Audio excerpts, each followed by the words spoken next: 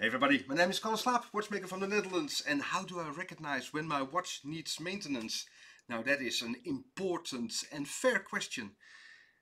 The thing is, the answer now is probably different than say 15 years ago. So sit back and relax, this video will save you a lot of money. What has changed uh, uh, in the last years? Well, the usual answer about maintenance intervals is every five years a mechanical watch needs maintenance. That's no longer the case.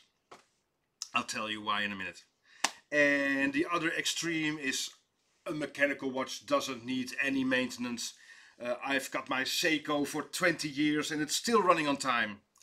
Uh, not entirely true and the next video will go about uh, uh, the running on time and why it's not related to maintenance and that's why the answer to the maintenance questions is so difficult because you cannot really see uh, uh, when a watch needs maintenance because the deviation of time will not be that much different between uh, a well-maintained watch and an old crammy watch.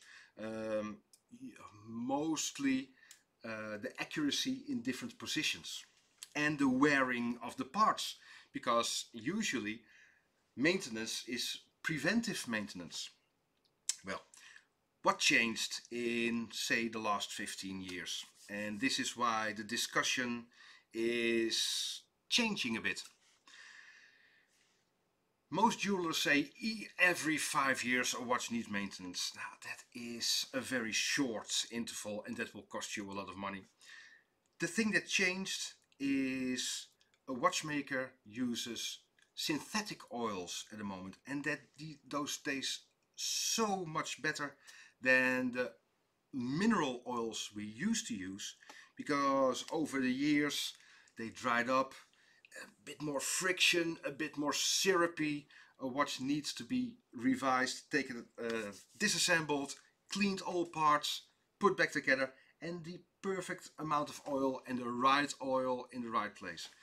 But we use synthetic oil, so every five years is, in my humble opinion, a bit too much. Another thing that is changed severely in last 15 years is how we use a vintage watch.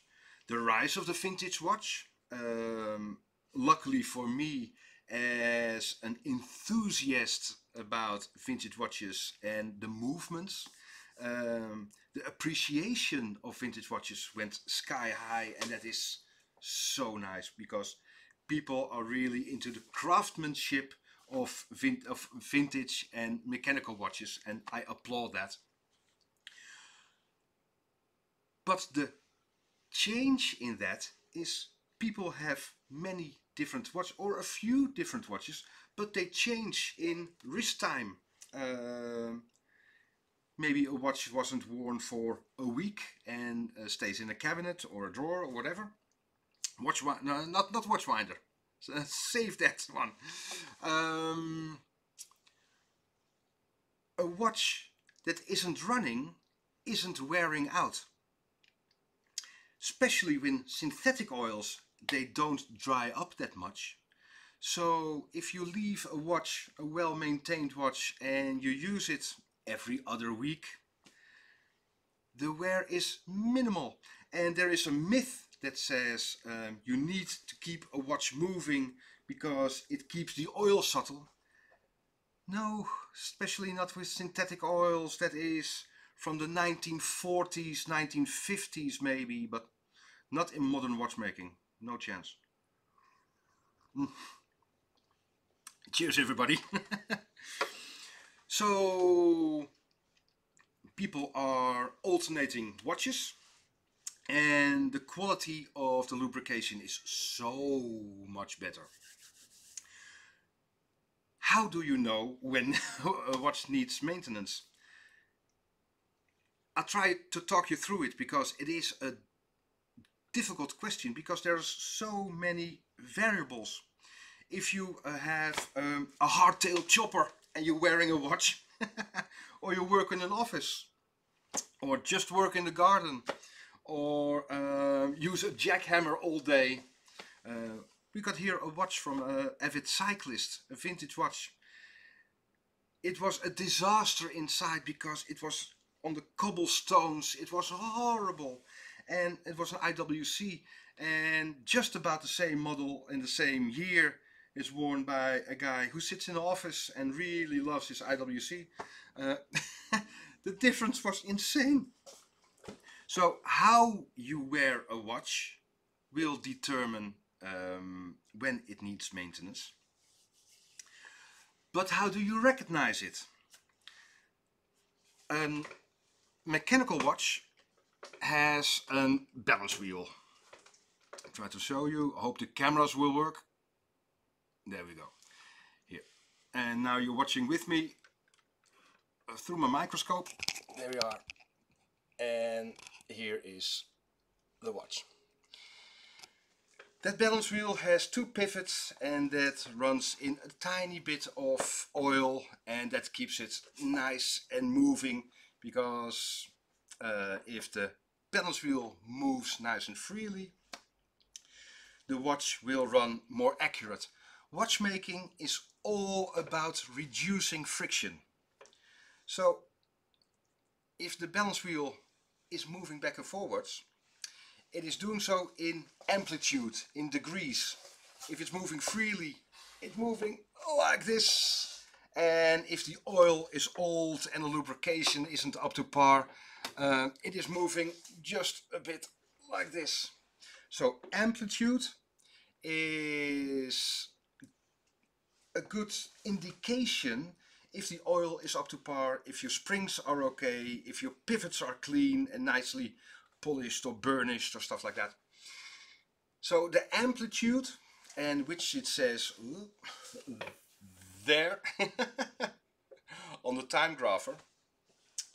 Um, I know that I'm fully aware there are many exceptions, but roughly uh, 280 degrees that is perfect condition. And uh, some Seikos have been designed on 220 degrees. So if it's running 220 it is perfect but that is a different set of Seikos. And for the moment I don't have a list of uh, calibers that have that specification but just be aware of that. That's it. So 280 is perfect. Not over 310 310 degrees because of the knocking or overbanking and not below the 230 because the oil isn't lubricating anymore. So you are wearing your parts out. So your next revision will be a repair and so much more expensive. Uh, so amplitude is an excellent indicator about the health of your watch movement. Simple answer, have it checked every year, every two years as a watchmaker. You uh, are the client, you are in charge and you are so well informed, you are watching YouTube videos, you know what you're talking about.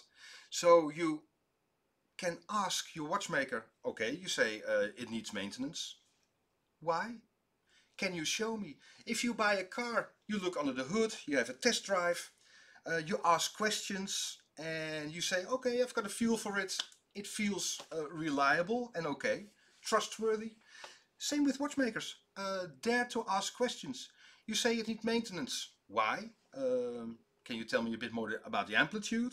Can you show me uh, what I'm looking for? Uh, ask to dare to ask questions. Uh, you are a client and well informed, so why not? So there is no easy answer uh, for the maintenance interval. If it is lubricated with uh, modern synthetic oils and it's in a drawer for years, it isn't wearing out, it isn't drying up. The thing is, don't worry too much.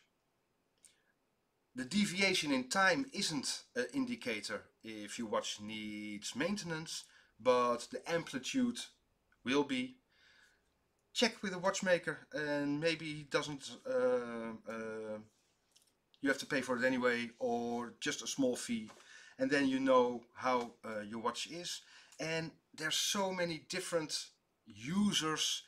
Um, there is no one answer to that question because it's so personal, so individual.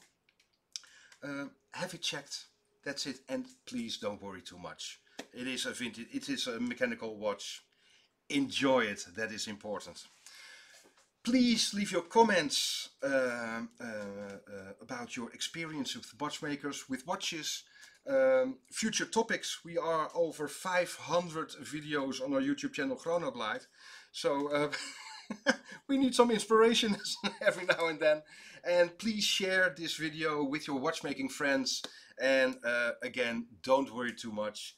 Enjoy your vintage watch and uh, hope to see you soon. See ya. Bye bye.